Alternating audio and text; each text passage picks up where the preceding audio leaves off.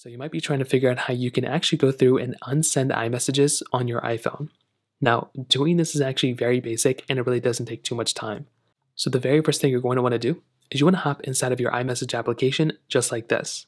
And then once you do that, what you want to do is you want to go ahead and find the message that you want to go ahead and unsend. Now, if you just went through and you just sent a message, I think you can unsend a message, you know, as long as they haven't seen it yet. But chances are, if it's been a, a little bit of time, then you probably won't be able to unsend it.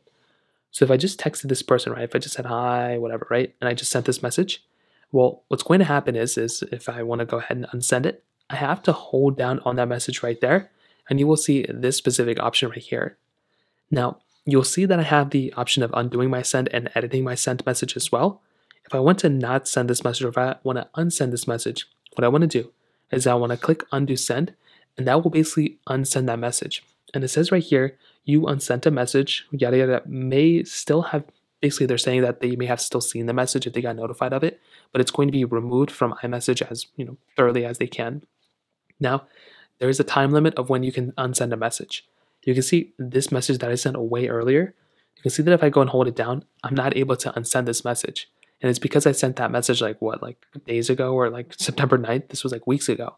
So that is a reason why I'm not going to be able to unsend that message. But if you just recently, if you recently sent a message, you should be able to hold it down, click undo send, and that's a way to kind of fix it for the most part. So that's basically how it's done. If you have any other thoughts or questions, let me know in the comment section below. Hit the like button, that would mean so much, but definitely hit that subscribe button. More importantly than everything else, I love every single one of you guys. Hopefully I'll catch you guys in the next video. Peace out.